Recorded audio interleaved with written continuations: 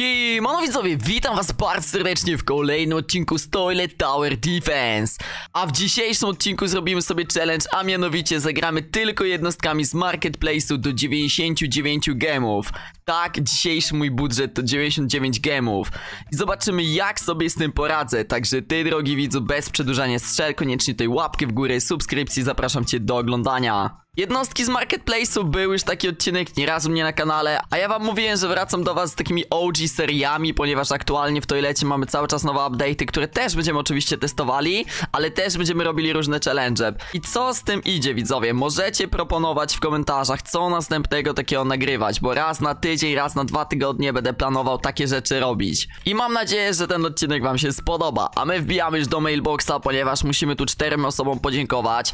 Bartek, dziękuję serdecznie za 600 gemów, nie ma problemu kolego, podpisuję ci tego pięknego krejta. 600 gemów, kolega widać, że bogaty, proszę bardzo Bartek, odsyłam go tu mamy Hagi Wagi, dziękuję za 1100 gemów i wampira, no nie ma problemu panie kolego, podpisanego odsyłam, proszę cię bardzo. Mateusz Matek, dzięki za 1000 gemów, Titan Firework, oj widzę, że tutaj kolega bogaty, jeżeli ma taką godly jednostkę, odsyłamy oczywiście i pozdrawiamy. I ostatnia osoba to Alex, bardzo dziękuję również za 1000 gemów, pozdrawiam serdecznie, Eternal, tutaj będzie Eternal, więc Eternal też podpisany i jest odsyłany. A ja widzowie jeszcze szybko przypomnę, tak, podpisuję jednostki, musicie wysłać je na nick X drowerku. Zaznaczacie obojętnie jaką jednostkę oraz wpisujecie tutaj 250 gemów. Tak, podpisuję za 250 gemów, za 1000 podpisuję na odcinku. Co ważne, pamiętajcie, że mieć tu wszystko na zielone. Ważna też sprawa, bo dużo osób ostatnio wysyła mi prezenty. Jeżeli chcecie, żebym na odcinku odbierał prezenty, no to musi być ta wartość mniej więcej 200-250 gemów. Dlaczego? Bo dużo osób wysyła mi prezenty, bardzo dziękuję za nie, ale dużo osób chce, żebym otworzył na odcinku gifty warte, nie wiem, 10 gemów, 5 gemów. Jeżeli ja bym takie gifty zostawiał na odcinku, odbierał, to i uwierzcie mi, że 15 minut odcinka to ja bym otwiera, otwierał gifty, także ja takie droższe bardziej biorę, bo wiecie, na odcinku, żeby to nie trwało długo. Ale dobra, nie gadajmy dłużej, wbijamy na Trading Plaza. Zobaczymy, co mi się tam uda kupić do tych 99 gemów. Bo bardzo ważną informacją jest to, widzowie, że ja nie mam na pojedynczą jednostkę 99 gemów razy 5. Ja mam ogólny limit 99 gemów, tak, czyli za tą kwotę muszę kupić aż 5 jednostek. Więc musimy tu naprawdę dobrze zastanowić się, co chcę zagrać. Bo 99 gemów w tych czasach to jest totalne nic, serio, więc ten challenge będzie strasznie ciężki. I niby mam tutaj okazję za 50 gemów kupić Cheese Drillmana, który naprawdę jest przemocarny, zdaje mocarny damage, ale zastanawiam się, czy ja będę chciał korzystać z mityków. No godli nam odpadają, ekskluzywy może jeszcze jakieś znajdziemy, typu właśnie Toxic i tak dalej, ale jeszcze sobie przejrzę dokładnie, bo 50 gemów na 5 jednostek, no to średnio na jedną mogę wydać 20 gemów. Nawet nie całe, bo 99 mamy, a nie stówkę. No dobra, pierwszą jednostką jaką kupię będzie booster. Będzie ten Corporal Drillman, więc bierzemy go sobie. Aha, i ziomeczek jest w tradzie. Poczekajmy chwilę. I kupiliśmy za 15 gemów. Drugą jednostkę, jaką sobie kupię, prawdopodobnie może być to medyk, żeby ściągał nam tutaj stuny, ale czy będzie nam potrzebny? Dobra, mamy boostera, przydałby się medyk, jednostka, która obija, jednostka, która slowuje i farma. No dobra, możemy kupić medyka. Jeden gem, nie kosztuje dużo. Bierzemy, bierzemy go. Dobra, wiecie co? Jako jednostkę kierującą kupmy tego Cheese Drillmana, ponieważ no czuję, że może być ciężko. Cheese Drillman jest dosyć spoko, więc wydajemy 50 gemów na niego. Mamy Gravity Guna za 32 gemy na Marketplace, kupujemy i zostaje nam idealnie jeden gem, widzowie. Idealnie jeden gem nam zostaje. Czy my damy radę za jednego gema kupić farmę? Trick or treat cameraman za dwa gemy. Muszę poszukać za jednego gema jeszcze. I mamy za gemika trick or treat ziomeczka. Let's go, kupujemy. No i tak będzie wyglądał cały nasz skład, widzowie. Mamy Corporal Drillmana, czyli boostera. Mamy medyka, który będzie ściągał nam stuny. Mamy Cheese Drillmana, który mam nadzieję, że będzie kierował. Mamy Gravity Guna, który będzie slowował oraz farmę Trick or Treat. No farma trochę słaba, zgadzam się z wami, bo pewnie mówicie, mogłem zainwestować bardziej w farmę, ale uwierzcie mi, pumpkin farmy nie da się znaleźć, influencer kosztuje 80 gemów, no jest ciężko po prostu, jest ciężko. Więc ten mecz, widzowie, dzisiaj zagramy sobie na mapie, myślę, że Desert. Desert to jest idealna mapka, więc wbijamy na nią i startujemy meczyk. No, szczerze, powiem wam tak, że z tą farmą życzę sobie powodzenia, bo wiem ile te jednostki w ulepszeniach będą kosztowały. Ale wierzę, że damy radę. Oczywiście, żeby nie było tryb Nightmare, Czy autoskip? Raczej wątpię, raczej wątpię, ale na pewno tryb Nightmare. I teraz tak, postawienie 200 dolarów, no trochę sporo, trochę sporo, więc postawmy go sobie gdzieś w tym miejscu i tu na kasę trzeba czekać 30 sekund. Jo, to tego to ja nie wiedziałem. No dobra, trudno, wyczekamy sobie. Szczerze, ja myślałem, że to jest po prostu co, co bo ja tak to mogłem kupić sobie Dark Printermana albo zwykłego Printermana. Ale wydawało mi się, że tak szczerze, tu kasę nie dostajemy co czas. Nie patrzyłem na to, kurczaczki, dobra, no ale lepszej farmy nie znalazłbym. Postawmy sobie drugiego od razu, pyk, stawiamy drugiego, autoskipa odpalamy i musimy na trzeciego jeszcze czekać. Ciekawe jaki jest limit stawiania tych farm. Okej, ale nie przejmujmy się tym, na pewno będziemy musieli postawić sobie jednostkę. I co jest problemem, widzowie? Już widzę, co jest ogromnym problemem. Postawienie jakiejkolwiek jednostki kosztuje nas 2000, 2000, czy ten ziomek obija? No i tutaj mega zważywiłem, wiecie, mega zważywiłem. Zapomniałem, że tyle kosztuje postawienie. I teraz pytanie, czy te jednostki nie zniszczą nam bazy? Wiecie co, zanim ja uzbieram 2000 dolarów, czuję, że mogą zniszczyć nam bazę. Aczkolwiek zobaczmy, poczekajmy. Okej, zniszczą nam bazę. Mała podmianka. Cheese Drillmana musimy wymienić na pewno. Albo mała podmianka, zostawiam Cheese'a, podmieniam Tambasa zamiast Medyka. Medyka kasujemy i kupujemy tego ziomeczka na start. No i teraz możemy iść zagrać giereczkę. I znowu zaczynamy nasz gameplay. Witam, witam bardzo serdecznie. Postawiamy trick or treaty. Myślę, że w tym oto miejscu pierwszego czekamy na kasiurę, stawiamy drugiego. Już wiem jaki jest limit. 5 maksymalnie można postawić takich jednostek. Na start dają 100 dolarów maksymalnie na upgrade'ach 200, więc już teraz to wiem na pewno. W ogóle pierwszy raz kupiłem tą farmę. Jak ona wygląda? No dosyć ciekawie, dosyć ciekawie, nie powiem, że nie, dosyć ciekawie.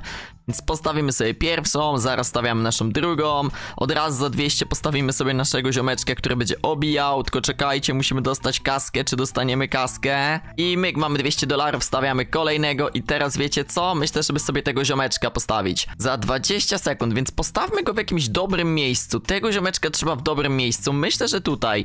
Jestem ciekawy, jaki on ma w ogóle cooldown, bo nie patrzyłem na cooldowny. Więc zaraz sobie go postawimy. Uwaga, uwaga, uwaga, dostajemy kasę, czy nie dostajemy? I myk, mamy 200 dolarów, stawiamy cooldown sekunda, okej, wiecie co, to wyłączmy sobie autoskipa na wszelki wypadek, bo tutaj i tak już dostajemy 200 dolarów, a ja potrzebuję 200 dolarów, żeby ich nastawiać jak najwięcej. I teraz tak, czy te małe jednostki zniszczą nam bazę? Uwaga, nasza baza ma dużo HP, raczej nie powinny zniszczyć, aczkolwiek na wszelki wypadek postawiłbym jeszcze jednego takiego ziomeczka za chwilkę tutaj i wyłączyłbym na pewno autoskipa, bo to też jest ważne, żeby zgasić autoskipa. Albo gdzieś na przykład w tym miejscu postawić, o, żeby tutaj obijał i tutaj obijał. I tak sobie widzowie zrobimy, moi kochani. Uwaga, 8 dolarów, 6 dolarów, pyk, stawiamy. I teraz tak, będzie tu obijał i tu obijał. Dwóch takich postawiliśmy, od razu stawiamy nasze farmy dodatkowe, żeby dawały nam kasę. Pierwsza i myk, zaraz postawimy drugą, tylko czekajcie, potrzebuję 14 dolarów, czy dostanę tyle, czy tu jednostki wejdą nam do bazy? Dobra, mamy. I teraz tak, czy nasza baza zostanie zniszczona? Raczej nie powinna, aczkolwiek ja skipuję i stawiam jeszcze jednego tutaj, ponieważ no jak widzicie, idzie dużo trochę tych jednostek, idzie dużo, a nasza baza nie ma za dużo HP, więc na wszelki, wszelki, wszelki postawiłem sobie jeszcze tutaj, bo patrzcie ile nasza baza zostanie zniszczona. To mniej więcej 100 HP. Okej. Teraz tak, czy ja mogę go sprzedać? Nie, nie będę go sprzedawał. Na pewno tych trików pasowałoby ulepszyć. Co one robią? Czas skracają, okej. To teraz pytanie, czy ja chcę na razie ulepszać? Wiecie co, na razie sobie jego ulepszymy za 300 i jego za 300 sobie ulepszmy. Żeby tutaj, wiecie, dawali radę, tego sobie mogę skasować tutaj. Teraz następny upgrade kosztuje nas, nas aż 800 dolarów. Więc kupimy sobie skrócenie czasu tych ziomeczków. Pyk, kupujemy jednego, pyk, kupujemy za chwilkę skrócenie czasu drugiego, bo jednak im szybciej kasa, tym lepiej dla nas. Powiem wam szczerze, wybór tych jednostek naprawdę nie był prosty. Naprawdę nie był prosty. Uwierzcie mi, chyba z pół godziny wybierałem, co by tu kupić, żeby nie przegrać na pewno, ale i tak nie jestem pewien.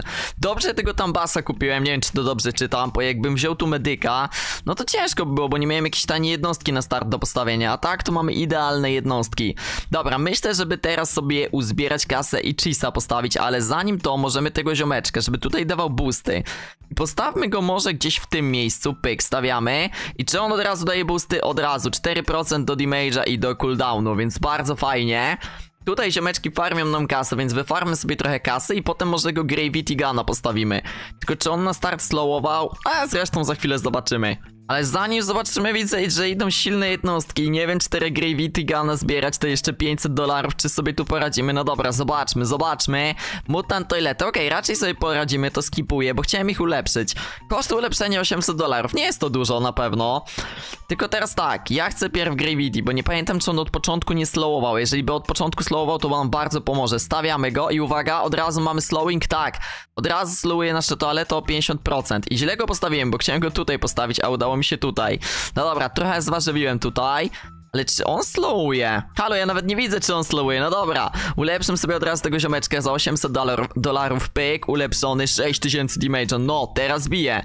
I drugiego jego kolegę też będziemy musieli zaraz ulepszyć, a potem myślę, żeby sobie nasze farmy dalej ulepszać, bo plus 50 dolarów, no bardzo nam się teraz przyda, bo jest 10 wave.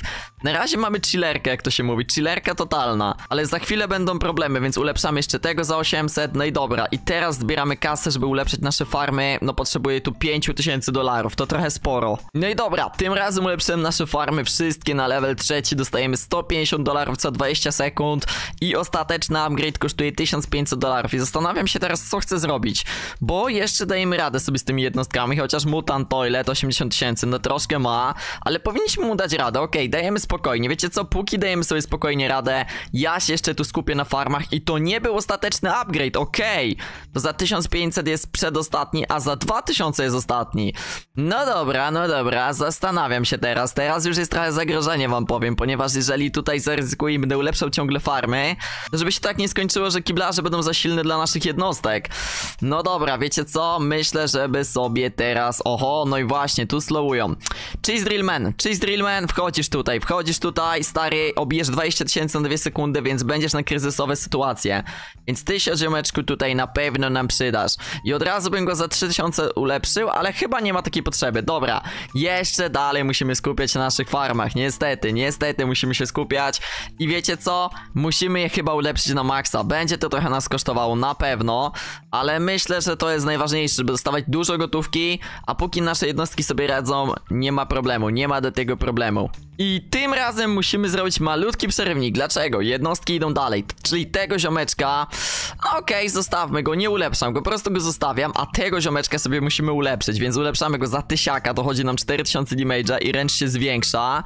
I to jest level maksymalny, okay, on obija 10 tysięcy damage'a na sekundę. To jest maksymalny damage. Okay. Teraz tak, czy ja chcę sobie tego ziomeczka ulepszyć tysiaka? Dajmy, ulepszmy go za tysiaka, niech tutaj się zwiększy buścik, chociaż te 600 damage'a więcej, prawda?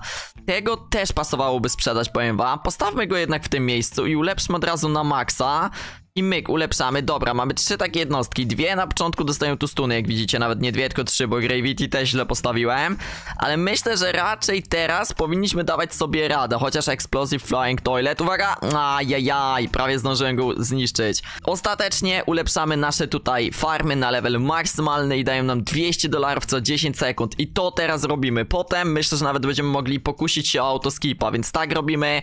Nawet sobie na chwilkę odpalę teraz tutaj skipa i ulepszamy nasze nasze farmy, a potem już zajmiemy się naszymi jednostkami. Chociaż długo to trwa, nie powiem, że nie. No ale wiecie, to są jednostki za 99 gemów, a w tych czasach 99 gemów, no, no powiedzmy sobie szczerze, to jest totalnie nic. I dobra, na 20 wave'ie udało nam się ulepszyć nasze jednostki wreszcie, więc wiecie co sobie widzowie robimy? Wiecie oczywiście co robimy. Pyk!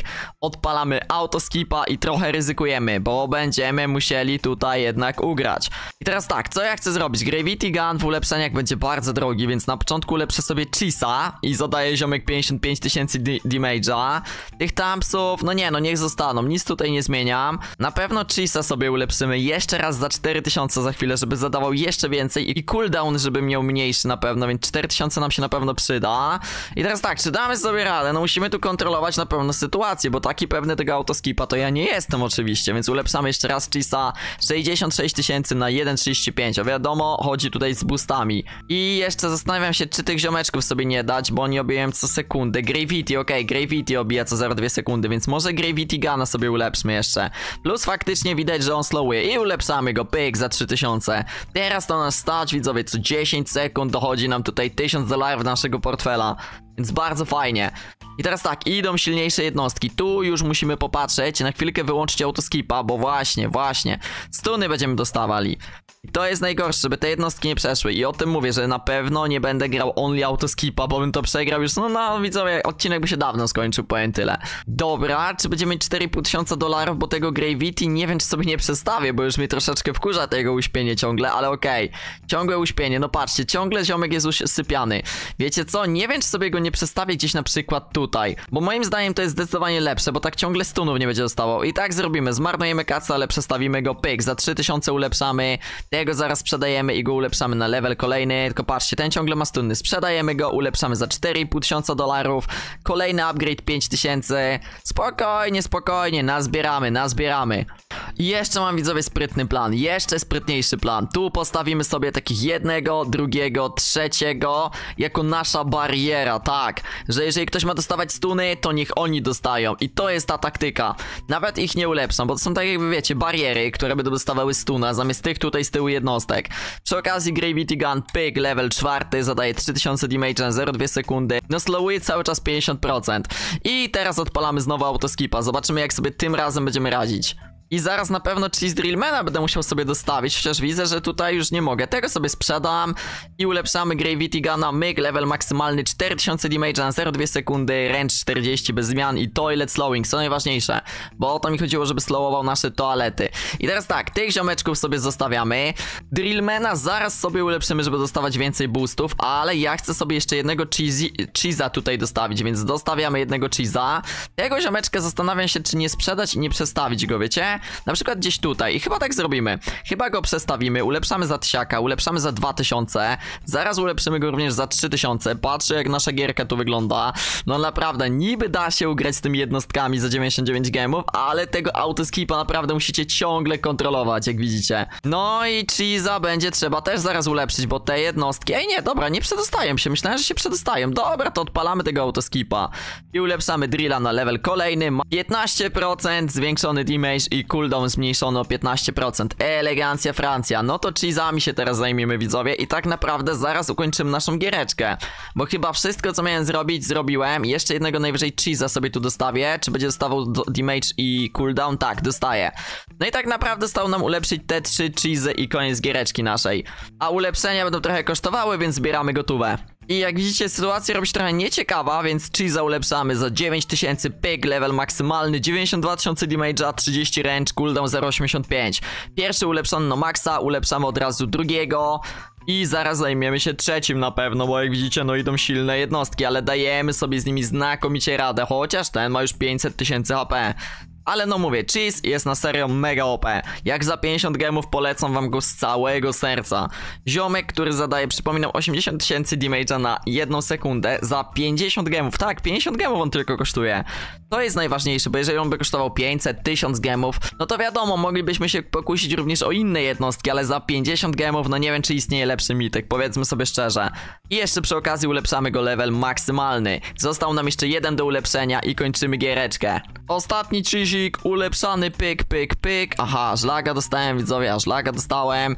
No i dobra, 300 dolarów i skończyliśmy nasz skład. Możliwe, że jakby była jakaś krytyczna sytuacja, bo widzicie, że idą silne jednostki, to sobie trochę więcej tych cheese'ów albo nie wiem, tego gravity postawię jeszcze jednego, ale póki co chyba nie muszę. Chociaż widzowie, powiem wam, że nie wiem, nie wiem. Tego możemy jednak sprzedać i na wszelki, wszelki dodajmy jeszcze jednego takiego cheesika. Czemu by nie? Na wszelki, wszelki, bo jak widzicie, no te jednostki mają już sporo HP i jak widzicie, co najważniejsze, podkreślam, kontrolujcie autoskipa, bo jeżeli bym ciągle miał odpalonego, to bym przegrał. Więc ważne jest to, żeby kontrolować. Dobra, powiem wam tak, gotówka mi się kisi, więc sprzedajemy te oto farmy, bo one są już nam niepotrzebne. Jak widzicie, uzbierałem 80 tysięcy dolarów, więc sprzedajemy tych ziomeczków. Siemano, siemano, miło było was poznać, chłopaki. I postawmy sobie jeszcze więcej tych cheese drillmenów, kurczaczki, żeby tutaj tak długo nie grać, ale powiem wam, że jak nie postawicie dużo, to nie grajcie autoskipa, bo ja przed chwilą musiałem autoskipa odpalać, gasić, autoskipa odpalać, gasić. Więc ważna rada, jeżeli gracie macie autoskipa, na pewno musicie więcej cheese'ów tu postawić, albo po prostu go kontrolujcie. No i dobra, zobaczmy, czy tym razem wygramy naszą grę, czy jednak tutaj przegrywamy. 49 wave i zaraz mamy 50, 30-minutowy mecz. Okej, dałoby się szybciej na pewno to zagrać. Zdecydowanie szybciej, tylko wiecie, no, ja jestem nubkiem, ja tutaj tak nie cwaniakuję, ja trochę mniej jednostek stawiam, więc myślę, że taki mecz 20-22 minuty dałoby się ugrać na spokojnie. No i dobra, mam 50 wave, 19 kiblarzy narespionych, czy idzie nasz boss, czy idzie tutaj boss, jeszcze się nie zbrespił, jest, mamy. Giant Smooth Toilet, witam serdecznie koleżanko. Zobaczymy, czy damy sobie radę, bo teraz jest najważniejszy moment. A ci, co rzucają tym serem, no nie mogę, rzucają tym niebieskim serem. Nie no, chłopaki, że wam ta praca się nie nudzi. No dobra, zobaczmy jak ta gra wygląda. Stało 6 jednostek, patrzcie jak one szybko schodzą, to jest też ważne, patrzcie. Milion HP, pyk, w sekundę dosłownie. Kolejny, Massive Bust of Owen. Kolego, patrz jak zejdziesz szybko, patrz, patrz teraz. No, ile to trwa? Dosłownie, no nie wiem, dwie sekundy. Więc naprawdę te cheesy są mega mocne i cieszę się, że je kupiłem akurat. Giant Smooth Toilet, do spanka. Wracamy do lobby, challenge bardzo fajny. Jestem jeszcze bardzo ciekawy, jakbym robił challenge na przykład max jednostki do 50 gemów, czy wtedy dałbym radę, bo myślę, że w tych czasach 50 gemów to jest za mało. Napiszcie co o tym sądzicie, ale podsumowując, czy da się wygrać Nightmare'a jednostkami za 99 gemów? Tak, da się zdecydowanie, tylko musicie poszukać dobrych promocji, bo taki Gravity na niektórych trading kosztuje 50-100 gemów, a mi się udało za 30 kupić, tak samo Cheese. No Cheese akurat za 50 wysnajpicie dosyć łatwo. Więc myślę, że taki skład na spokojnie wam starczy, jeżeli nie macie dużo gemów. No dobra, póki co to na tyle. Na ekranie jeszcze macie zwycięstwo ostatniego losowania. Serdecznie wam gratuluję i nagrody poleciały do waszych mailboxów. Dzisiaj u mnie macie do wygrania coś takiego jak... Trzy osoby po trzy takie developer crate'y. Wystarczy napiszecie ważnik w komentarzu. A póki co to na tyle. Dzięki serdecznie za oglądanie. Życzę wam wspaniałego dzionka albo wieczoru, w zależności o której godzinie to oglądacie. Ja za dzisiaj dziękuję i do następnego. Elu!